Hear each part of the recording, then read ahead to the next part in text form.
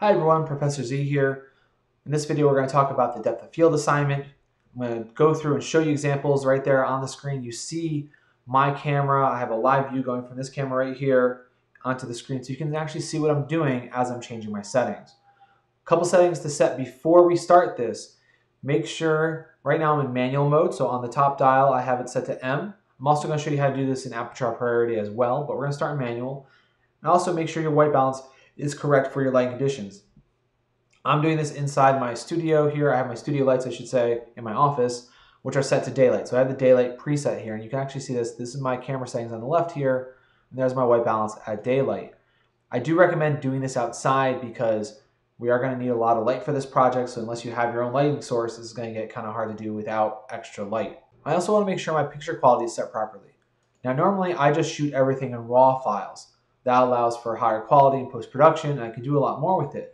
However, for this assignment, I really just want to be able to take the nine photos I want to use for it and upload them to my website. And I cannot upload RAW files. I can only upload JPEGs. And we haven't gotten to the part where we talked about converting RAW to JPEGs yet. So to skip that step and make it a little easier on yourself, in your camera settings for picture quality, make sure it's on RAW plus standard, which means it's going to record a RAW and a JPEG file at the same time. That way you can save all these in RAW and use them later for something else, but at least you have the JPEGs that you can easily upload to your website right away.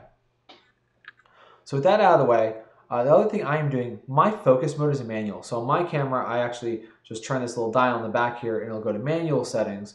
Uh, however your camera does it, whether you're using the Lumix or a Sony, Canon, Nikon, whatever it is, all these settings are the same. They just might be in a different area. Um, I'm using manual because I want to be able to make sure I'm focused on the proper thing here so I can just turn my dial on my lens here and focus in. Now I'm purposely using a fixed focal length lens here. I'm using a 50 millimeter so that way I know I can't, I can't cheat with the zoom or anything and I know I'm going to stay the same the whole way. Now for this assignment, the camera and your objects don't move. Make sure you're always taking the picture from the same location. I'm using the tripod here just so my hands are free for this, but I wanted the composition to stay the same.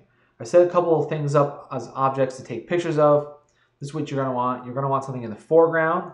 In this case, I have this camera lens here that's in my foreground. Um, I have a couple things right behind it, and I have in the distance there is a, a light hanging off my light stand, and then I have some stuff on the shelf over there, like a pencil jar or whatnot, uh, some empty printer cartridges. That's my junk pile over there, ignore it. Uh, and my, my printer's a little dusty, so please excuse that. Now, I've already kind of moved everything into where I want it. I want to compose the frame first. You can see on my camera I actually have the rule of thirds up on the screen, so that way I can always, it's, just easier. I mean, why not? It's, it's an overlay, you can put it on. There's nothing wrong with cheating to make sure you get good composition, because this photo looks better than this photo, just by having it on that rule of thirds line. Maybe if I move this this way a little bit, you know, moving your camera makes a photo a lot better just by making those little movements. So for this assignment, you want to have nine photos at the end of the day to make a, a grid on your website, which I'm going to go through in this video as well. But first I want to start with my aperture, which is right here is represented by this at my widest open setting. On this lens, it happens to be 1.7. It's going to vary based on your cameras. If you're using something like the Lumix FZ300 or a kit lens that doesn't have what we call a constant aperture, meaning as you zoom in with the lens, the aperture automatically changes to the lowest setting for that zoom length. You want to make sure you stay at one focal length and preferably the widest setting. That way you can get the widest open aperture. So have your lens zoomed all the way out if you are using a zoom lens and have it at the most open aperture to start with. And then we're going to start dialing it in. Now, unfortunately, one thing you can't see on the preview on my screen here is actually uh, my exposure level on the camera. So at the bottom of my screen here on the camera, I have a plus minus scale, plus three, minus three to show if I'm overexposed or underexposed. So pay attention to that while you're doing this. In fact, I just set my uh, shutter speed to 2500 here and I'm at beyond negative three for my exposure. So I wanna make sure we start where, oops, that's going way too fast for me. Okay, I actually just moved a light real quick to get some more light over here because it wasn't, it was really underexposed a lot. So right now my ISO, you can see here is at 200, which is the lowest for my camera. I can't go lower than ISO 200. And I'm trying to avoid using the auto settings on this. So I want to use all manual settings for this example. So right now, if I take this picture at f1.7, 30 uh, shutter speed of 30, and ISO 200, and I take the picture, it looks like this. Now you can see I have already focused in on that lens, and everything else, even this right here is a little blurry, the tape. Then the, um, the lamp here and then the light over here is really out of focus. You can't even tell what's on the shelf over here. So again, I just made sure this is in focus. And that's what those blue lines are, by the way. If you see the blue lines in your camera, don't freak out. Your lens is not broken. That is a focus assist feature. It's showing you whatever is sparkling blue on this camera. Other cameras might be red or orange. That's just telling you what's in focus. So by it's sparkling, it's telling me that yes, that lens is in focus. So if I go the other way, uh, now everything's out of focus. see if I can get like the tape in focus. Other things will start to sparkle, but we're just, I want this to be in focus, so we're gonna keep it here. Now, 1 30th of the second for shutter speed is actually really slow and something you wouldn't want to do handheld. So instead of adjusting anything else right now, I'm actually to adjust my ISO. So I want to bring my ISO setting to 400 and see what that does. Now I can see on my screen at 30 frames I'm actually overexposed. So I'm to up this to 60 and our exposure is actually really good now. It's actually kind of the same what we had the first time. However, 60 is also really hard to handhold. So if you're hand holding, you want to be a little higher. I like to be around 200 or 250 for hand holding. So let's just set it to 200, which is going to leave me very underexposed on my meter. So I'm going to up my ISO again to 800. If I look down here, now I have good exposure. ISO 800 is perfectly acceptable. You're not going to be too high. And there it is. That's a nicely exposed photo. Now let's go ahead and change our aperture setting. I'm going to just change this. I'm going to go up a little bit to aperture 2.8.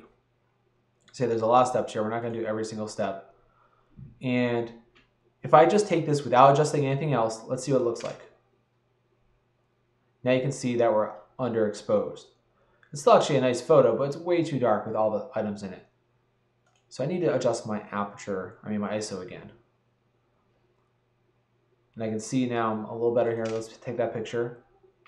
And that's better exposed.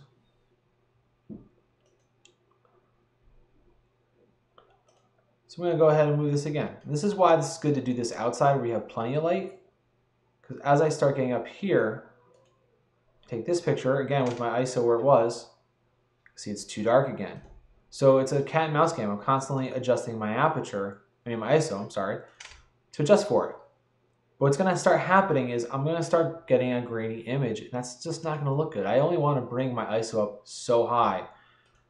In fact, it'd be better to slow down my shutter speed and take that picture and get a better exposed photo. So we want to keep doing this. I'm going to go up to like f8 now, we'll say, or maybe 6.6, somewhere in the middle here. I can see I need to slow this. Luckily, I'm on a tripod, so I can slow down my shutter speed without it being an issue. And I'm actually using my computer right here to take the pictures, so I have a little bit of advantage. And you can see things are starting to come in focus. The tape is in focus, the lamp is a little bit more in focus, but we still have the backgrounds out of focus. And they're not even that far away. Now let's go up to like F11. And I'm really going to slow my shutter speed down here. Again, advantages to a tripod is I don't have to worry about that. I can take that picture and now look at that. You can now you can start seeing the junk. There's a box for my other lens that I just bought recently, all sitting there. And for fun, we're just gonna go all the way to f22 in which case I really need to slow this shutter speed down or or I can increase my ISO or I can do both. It's a it's a mixed match. You, there's no one way to do everything. take that picture. There it is. Now you can see though, let's zoom in a little bit here. This is the problem with doing higher ISOs. So I'm at ISO 6400 and you can see the graininess starts to appear when we get that high. So that's why it's better to be outside with more light for this assignment so you can have that instead of having to increase your ISO so high. Now, let's change it up. I'm going to go back to uh, my first aperture setting here. I'm going to change my mode dial. I'm going to put this to aperture priority because that's what we're doing. We want aperture priority, and I'm going to actually put this into intelligent ISO. Ooh, this is this is scary. When I'm in this setting where I'm in aperture priority, and I put the ISO to auto, which I wouldn't always recommend. It's situational. I wouldn't do this all the time. As I go through the aperture settings, you're to see that my shutter speed is going to change automatically. So we'll go ahead and take this one. That looks great. And you can see when it's a low ISO, see there's not a lot of noise there when it's lower ISO compared to the last photo we just took. All right, let's adjust this up to like 2.4.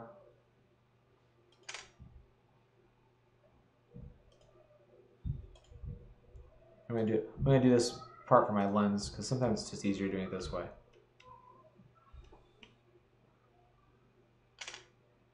That's 4.0. 7.1. 10. 14.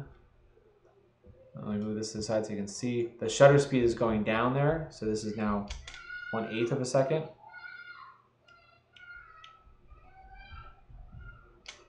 One fourth of a second.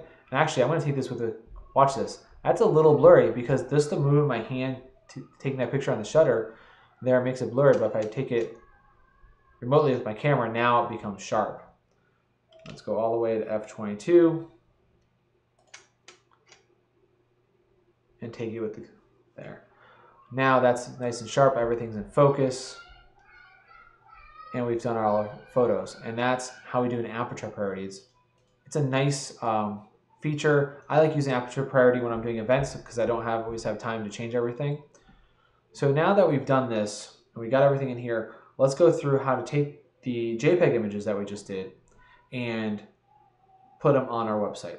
Now one last thing I want to note, because a lot of times people try to get really close to the object when they're taking the pictures every lens on it has a minimal focus. Oops, my camera's falling down on me. I'm gonna take the lens off real quick.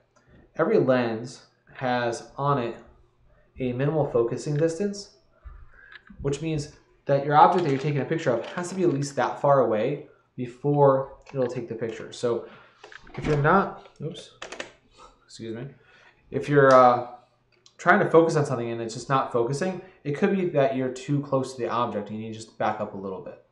Let's close this down.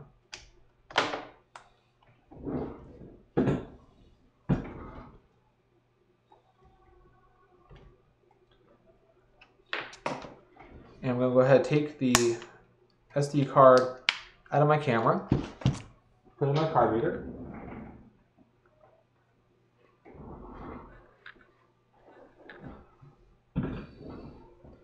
So right here, Lumix, that's my SD card for this. And I'm gonna open up this hard drive here. Oh, open up my other screen there.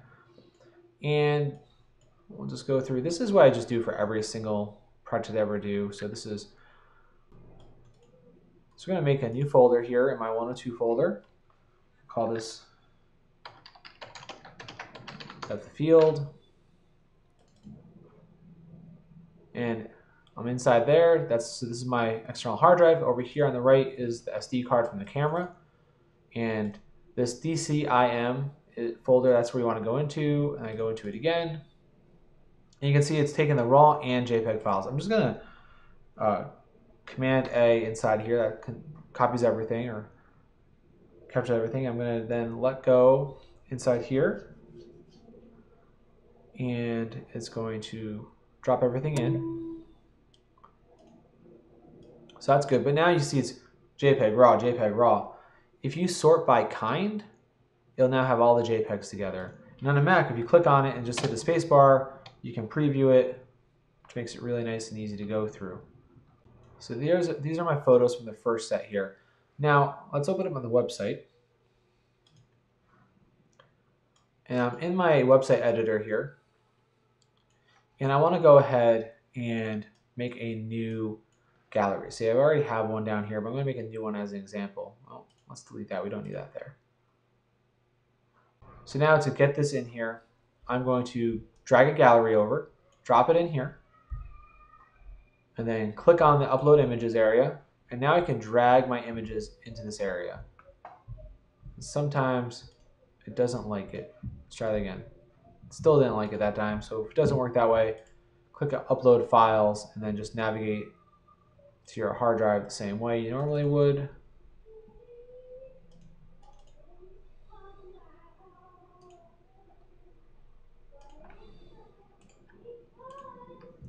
And now it's going to upload the files. So here we are. And now I see this one. I'm actually going to get rid of this one. Oops. Oh, go away, pop up. I can't see what I'm doing. This one is too much. Or too dark, I should say. Oh, hey. And then this one. Those three I need to delete. So you should end up with a nine, uh, three by three grid here. So it's nine pictures all together. When I hit publish, over here to this page, I'll refresh. Always test your stuff afterwards. And what's great about the gallery is you click on the first one, it's gonna become large like this and you can go through them in order. And that's how they should look. The one last piece of information I want you to add which is why it's good to pick out your 9 before you upload it, is I want you to add your shutter speed and your aperture. As in the example above, you can see that they have listed the shutter speed and aperture for each of these. So you cl simply click on one of these and go to your caption area and you can type that in. Now, how do you find that information out? Great question. So here's that same image in my folder here. If I right click and say get info, on this get info area, you'll see here is my aperture, and here is my shutter speed. So I can simply say f 1.7 at 1 30th. And done. I want to do that for all those. So again, when I hit publish, I'll refresh it here, when I click on it, on the bottom, it's going to tell me the aperture and shutter speed for those. And that's how you're going to do the depth of field assignment. Please email me if you have any questions.